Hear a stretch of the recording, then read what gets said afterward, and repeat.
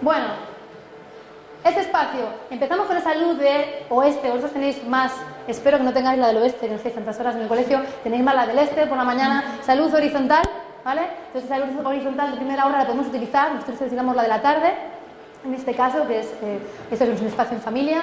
Entonces, les enseñamos a los niños, van llegando paulatinamente las entradas. No hace falta que todos los niños vengan a la vez. Si eso es horrible, ¿cómo gestionas que lleguen los 25 a la vez? Que los niños vayan llegando tranquilamente, de 9 a 10, ¿no?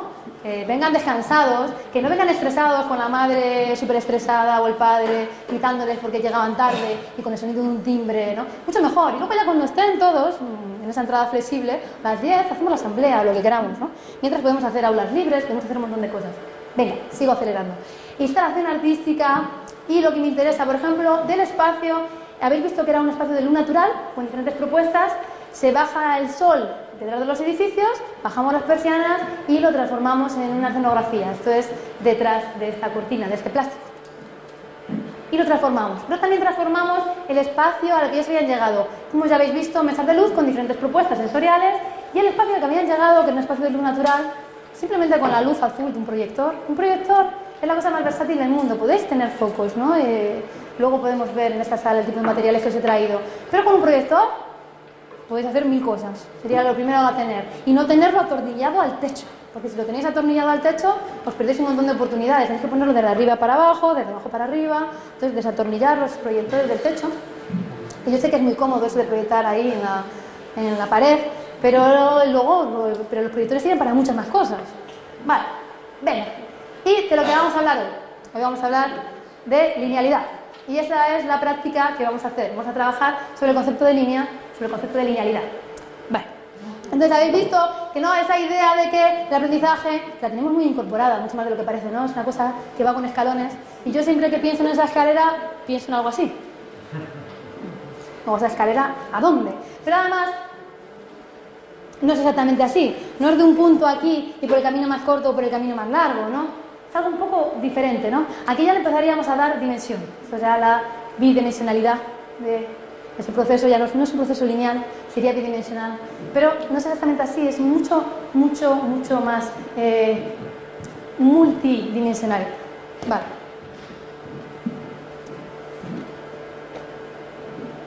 ¿Por qué no tiene señal?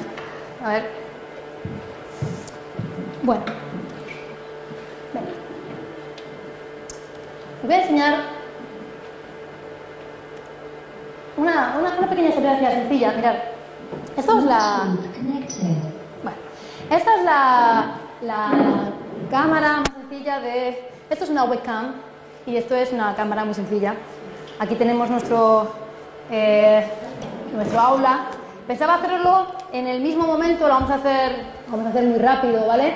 Pero es para la idea que podéis tener de cómo podemos crear eh, escenas también con ellos. Por ejemplo, podemos hacer esto para que ellos dibujen y eso mismo que están dibujando se esté proyectando y otro niño esté elaborando.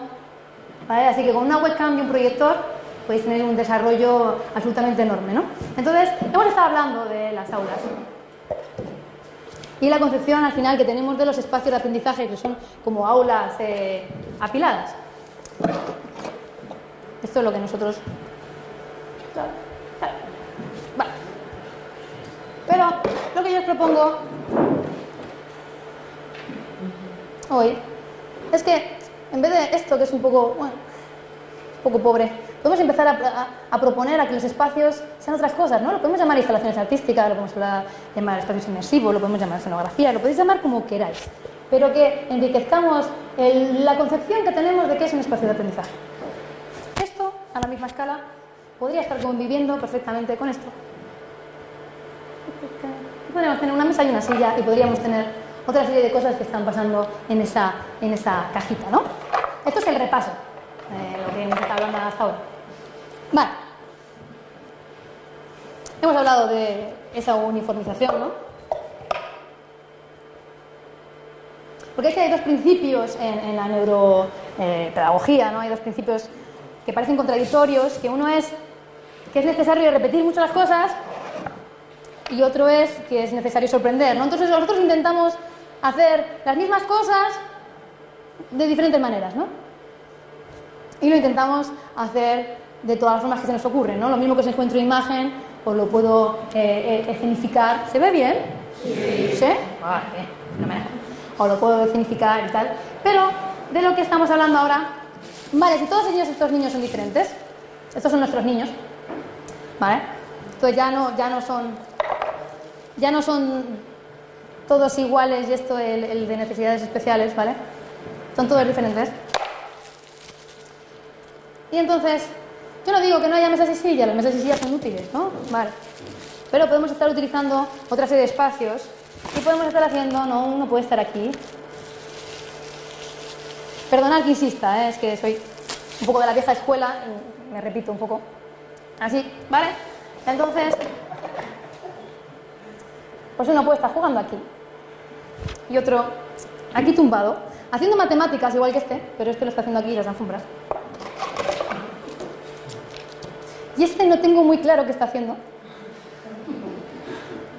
Pero le estamos dejando a ver por dónde va la cosa para luego alimentar ¿no? la propuesta. Nosotros le damos una propuesta modo este material, no sabemos muy bien para qué lo va a usar. Y a partir de lo que haga, vamos a seguir alimentando eh, esa propuesta. Bueno, no se ve muy bien la calidad de una webcam, pero me interesaba... Ah, mira, sí, este es el espacio protegido. Bueno, con otro niño por aquí. Este está en un espacio aquí. No sé si se ve. Vale. Bien. Me interesaba. Eh, yo tengo cámaras que se ven mejor que esto, pero me interesa que sea algo tan accesible como una webcam, para que lo podáis hacer, para que digáis, joder, si tengo una webcam por ahí en un cajón viejo, o cualquiera familia se lo pedís y, se pueden empezar a hacer un montón de cosas así. Yo lo que os propongo es que si vosotros estáis creando aquí, por ejemplo, estáis eh, documentando cómo está un niño dibujando, pues eso, que otro coja ese dibujo y pueda seguir el dibujo, ¿vale? Que experimentéis con esa idea al final de la multidimensionalidad. Bueno, esto lo iba a hacer más largo, lo he hecho más corto por ti, ¿eh? Vale, entonces... Vale, entonces, esto todavía no es la parte de las instalaciones que vamos a crear, pero sí que me interesa que pase un poco por el cuerpo, ¿no? Los que ya estéis muy cansados os podéis levantar un poco lo que necesitéis, ¿vale? Entonces, vale, lo que vamos a hacer es un símil. Ya te vale. O sea, mira, todos. Bien, muy bien. Eh, coge, coge, cógete esto. Coge, enróllate en un dedo y coge la bola. Vale. Venga, entonces. Venga, vamos a coger. Vamos a coger pelotas de estas. Vale, esto es la parte lineal. Esto es el aprendizaje lineal, ¿no? Vale. De un punto a otro punto. ¿Qué pasa? Que no solamente es bidimensional como aparece ahí, ¿no? ¿Qué he hecho yo con mi... Ah, es más bien así. Chicos, esto es lo que tenemos que entender, chicas. Mirad, esto es lo que tenemos que entender. Lo sabemos, ¿no? La complejidad del cerebro es tremenda. Entonces, no es una línea, ni es un plano, ni son dos recorridos. Es más o menos algo así como lo que vamos a hacer ahora, ¿vale? Vais a coger cada uno de una pelota, la vais a enrollar en el dedo y se la vais a pasar a otra persona que tengáis por ahí que se la va a enrollar en el dedo y la va a seguir pasando a otras personas, ¿vale? Coger, coger por ahí pelotas. Vale,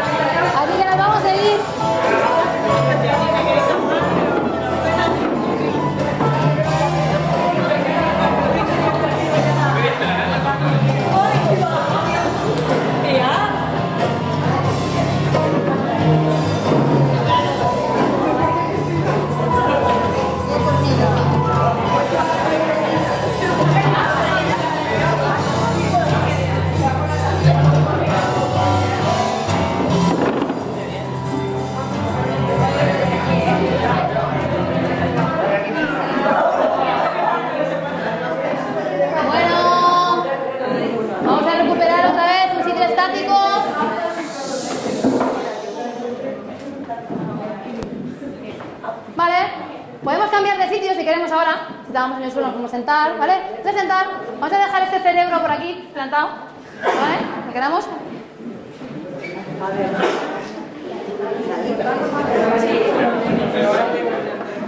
Dejadlo, dejadlo por ahí donde veráis.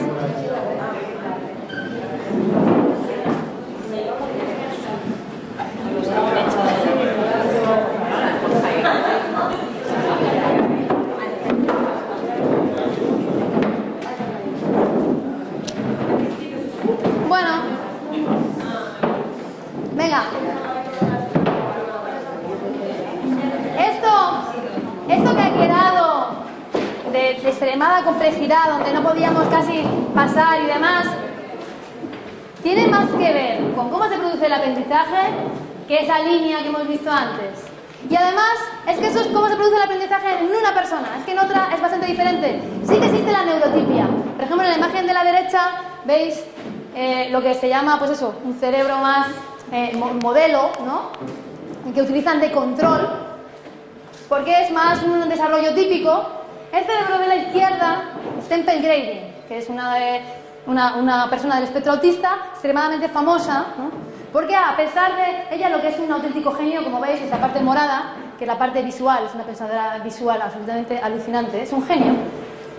La parte que pequeñita, que correspondería más con lo que tiene que ver con el lenguaje, no es tan sencillo como eso, pero vamos a simplificarlo en el lenguaje, eh, es la que ha tenido que trabajar específicamente para llegar a ser día de hoy una conferenciante extremadamente famosa. O sea, a pesar de tener ese cerebro a día de hoy y tener todavía dificultades en esa parte, una de las cosas que está haciendo esta mujer es dar conferencias por absolutamente todo el mundo. Y para mí ha sido un referente y un modelo dentro del campo de la neurodiversidad y, y de cómo estructuro mi trabajo. Temple, Temple Grading. Hay una película sobre su vida, más o menos, con licencias, según su madre, con algunas licencias. Pero es interesante. Es interesante de ver también, si queréis, mucho más interesante todavía que la película, que es interesante, eh, es ver, por ejemplo, su TED o algunas de sus conferencias. Su TED, por ejemplo, está traducido, pero luego tiene muchas conferencias en inglés. ¿Vale? Bueno, serendipia en aulas abiertas. Muy, muy rápido. Una cosa muy sencilla, hecha en un colegio.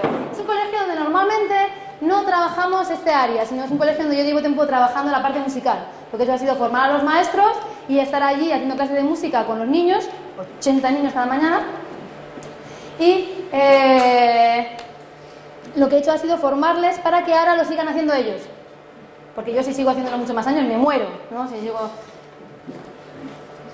Entonces, bueno, vosotros que tenéis más aguante, pues para que ellos sigan trabajando de esta manera. Pero este día, o como estamos hablando de música, estamos hablando de espacios, este día les propuse llevarles algo que tenía que ver más con las aulas abiertas. Con esta idea de, podemos coger tres tutorías, tres aulas, que son eh, la aula de cuatro años, la aula cuatro años A, cuatro años B, cinco años A, ¿no? Y transformarlas, abrirlas y que los niños dos niños de dos aulas, la aula- los niños del tercer aula estaban en el espacio de psicomotricidad.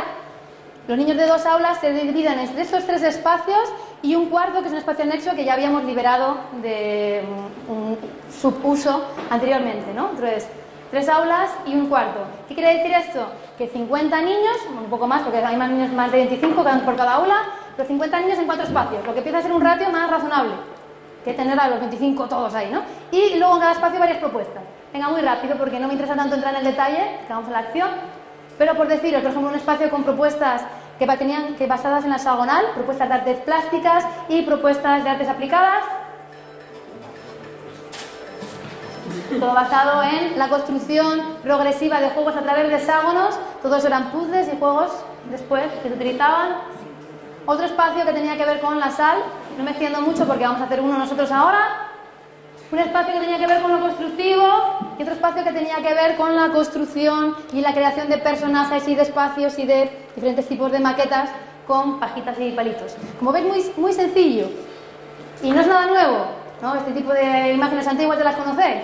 Espacios que tenían mucho más que ver con lo doméstico, que probablemente eran antiguamente casas, los primeros espacios Montessori de Estados Unidos. Antiguas casas probablemente que tenían ese potencial de mobiliario, diferentes tipos de mobiliario, no todos en mobiliario, diferentes tipos de situaciones, ¿no? Qué inteligente María Montessori cuando ha hecho materiales súper grandes que que no caben en la mesa, con lo cual tienes que utilizarlos sí o sí en una alfombra. ¿Vale? Entonces, y luego, por ejemplo, esto que es Freinet, años 60, lo que me gusta es el pie de página, que no se lee bien, no sé está en francés, pero lo que dice es, este era un taller, ¿qué dice? Eh, una parte de la clase, los demás estaban en otros talleres, no era fácil determinar su posición, ¿vale? Esta es la parte que me parece interesante. Unos estaban aquí, los otros estaban por ahí haciendo otras cosas en otros espacios. Años 60. ¿Esto por qué os lo digo? Que ya lo sabéis. Por el miedo que hay a hacer este tipo de cosas. Como, ay, no, es que vamos a experimentar con los niños. Es que vamos a... Esto lleva experimentándose más de 100 años. ¿Vale? Entonces, con lo cual no os preocupéis, que ya está aprobado y reprobado, que empecemos diciendo que estamos haciendo innovación pedagógica y bueno, lo intentamos. En realidad todas estas cosas son ideas clásicas, son los cimientos, ¿no? Son las bases. La pedagogía activa es como, pues eso, nuestros los abuelos, los- nuestros cimientos. No es innovación pedagógica, hace 100 años ya no es innovación pedagógica. Tenemos un montón de bases sobre las que nos podemos fundamentar. Vale. Enseñaros solamente este proyecto más por esta idea. Por ejemplo, un aula podría ser esto, con sus diferentes funciones, con su trabajando la luz, un espacio tranquilo, relajado. Esto es un espacio tal cual, ¿eh? Este era un espacio, el espacio de al lado será una propuesta 0-3 años, pero lo mismo se podría hacer con materiales para 3-6 o la edad que se quisiera. El espacio de la eh, aire, lo llamamos otro espacio de luz, espacio de aire. Salas contiguas, otro tipo de energía, otro tipo de propuesta muy diferente. Los laberintos, en los pasillos y los camerinos, esto era un teatro, los camerinos con pequeñas propuestas también diferentes. Al final, cinco, seis espacios, ¿vale? Utilizando todo, utilizando los tres camerinos, utilizando todo lo que nos daban. Y teniendo en cuenta todo esto, no solamente el dónde, sino cuánto, cómo, para quién, todo, ¿no? La, la visión del diseño como algo integrado. Y vamos a la práctica. Entonces, primero lo último que quiero decir es que este tipo de espacios, aparte de hacerlo en teatros, por ejemplo, al cubo, es un espacio que vamos a empezar a montar ahora en un colegio. Por ejemplo, en el auditorio de un colegio, que es un espacio que hasta ahora casi no se ha usado, que tiene una, una acústica terrible. Y siempre lo utilizan con grandes cantidades de niños. Entonces, claro, todos los profesores lo detestan y no lo usan. Entonces, en un colegio donde nosotros trabajamos, vamos a montar un espacio al cubo, va a ser una escenografía que nosotros usemos para nuestros talleres y que ellos van a utilizar en primaria para matemáticas. Una escenografía como la que acabáis de ver, que le vamos a ayudar con el desarrollo metodológico. Es decir, que esto se está haciendo en los colegios. El hecho de que montemos una escenografía en ese espacio de mala acústica, vamos a poner unas nuevas normas, que va a ser que vamos a hablar suave. O sea, el problema vamos a aliviar con ese problema de acústica porque el ambiente del espacio va a cambiar totalmente a través de la luz y a través de las propuestas. Vale, ¿qué vamos a hacer hoy? Nos vamos a extender por el espacio disponible. Vale, entonces os cuento. Unos podéis hacer este tipo de propuesta con trapillo, ya lo tenéis aquí preparado, en el patio. Nos vamos a ir distribuyendo, vais a ir eligiendo, luego podéis ir cambiando. Vamos a hacer un símil en estos, ¿cuántos? ¿Tres cuartos de hora que nos quedan? Símil de taller. Entonces, otros en donde están las escaleras de madera, vamos a trabajar con sal. Vamos a ir ahora, os voy a ir en, en este mismo orden, os voy a ir llevando por los espacios y los que queráis os vais quedando. Os explico, algunos os quedáis y otros siguen conmigo, ¿vale? Como si fuera una procesión que se va quedando sin gente, ¿vale? Entonces, esto lo vamos a hacer en la entrada afuera. Vamos a trabajar con esos triángulos que os adelantaba antes. Este es si queréis. Yo este, con el poco tiempo que tengamos, no lo haría, pero este es coger hojas de papel normal. Por lo que me interesa es por esa idea de crear un espacio diferente a través de la hoja de papel, es decir, algo que vosotros estáis muy habituados a utilizar y si tenéis ganas de estar en un ritoncito tranquilos y tal, recortando, bueno, pues podemos hacer algo de este tipo. Me comentáis, cogemos hojas, no tiene un espacio específico, ¿vale? Si alguien quiere trabajar sobre ello, buscamos el mejor espacio para hacerlo. Tenéis también los materiales que vosotros mismos habéis generado, algunos de ellos, los que eran más como maquetas, por si queréis jugar con ellos, porque los habéis creado y ahora están aquí en la entrada para jugar con ellos. En esta nada más salir, hay otro rectángulo, el de la izquierda es para la sal, este de aquí es para crear una obra a través de cinta de papel. Sois muchos, o sea que yo os aconsejo que os extendáis por todos los lados, pero si alguna no la hacemos no pasa nada, ¿vale? Esta es la que vamos a hacer en este espacio. En este espacio vamos a quitar las sillas, esto vosotros decidiréis, y aquí vamos a seguir trabajando un poco sobre la luz, con el que quiera. Vamos a volver, voy a hacer todo el circuito, voy dejando gente, y vamos a volver aquí a seguir proponiendo cosas en torno a la luz en este espacio. ¿Vale? Un rato a jugar un poquito con la luz, con algunos materiales. Y creo que eh, eso es todo. El papel continuo, ¿verdad? Vale, el papel continuo. El papel continuo es para este, mirad, y vamos a cambiar. Muchas gracias. Porque además, si no, sí, además es que se me ha olvidado ponerlo en la. Muy bien, muy bien. Eh... Os lo voy a poner aquí. Dame un segundito, que se me olvida prepararlo. Que eran muchas cosas, ¿eh? la verdad. Eh... Vale. Vale, lo que vamos a hacer el papel continuo, en cuanto tenga un momento, vamos a hacer más al final, cuando tenga un momento me voy a llevar el equipo de sonido para allá.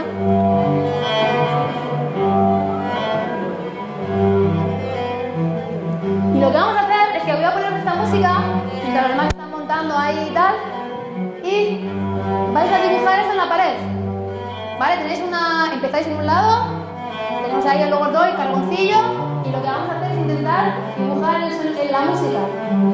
¿Como esto?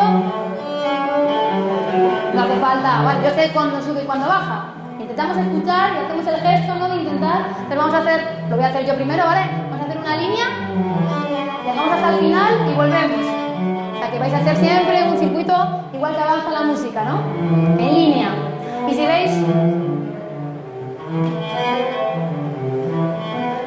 todo tiene que ver con la línea. Esta propuesta tiene que ver con la línea, lo que hemos hecho aquí también. La cinta de papel, la sal, la vamos a orientar en ese sentido, el trapillo también.